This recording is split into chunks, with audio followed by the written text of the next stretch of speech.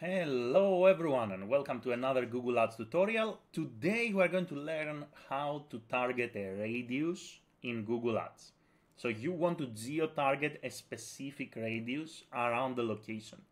I'm going to show you how to do it. Before we go there, please like the video, subscribe to the channel. It helps tremendously to create new content. So thank you very much in advance.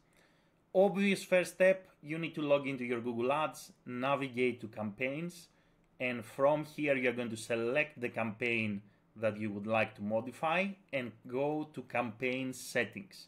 So once you select the campaign, you are going to click on campaign settings right here. Now that we are on the campaign settings, we are going to go and open locations. We are going to click at advanced search and here we're going to select radius. Now the way this works is first you are going to select how large is going to be the radius around the location you would like to target. You can do that in miles or kilometers. I'm going to do it in kilometers that I'm more familiar with. So let's say two kilometers around Raffles Place, let's say in Singapore. So you are going to include the location and here you go. Now you have a radius targeting which is two kilometers around Raffles Place in Singapore. Now, what you can do is you can include other geo-targeted locations like that by dropping the pin. So you can click here on the pin mode and you can, for example, zero in in any location. You can drop the pin and you can say, I want to include this location, for example, right? So Singapore is a location we are targeting. So let's actually drop the pin maybe here in Batam somewhere. So we are going to come here, we're going to drop the pin, and here we go. We can include this location, for example. And you can drop as many pins as you like in the map. Keep in mind now, radius targeting works better in mature countries like United States, Germany, and so forth. Because the way it works has to do with the infrastructure of a country.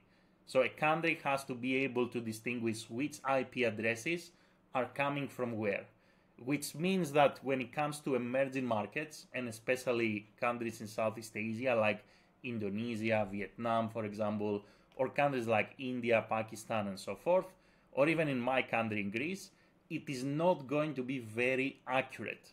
It is going to be, I would say, maybe 80% accuracy, right? So it's not going to be the case that you're going to target exactly the people inside this bubble. Like someone may be a little bit outside or maybe a little bit inside and he's not going to be targeted.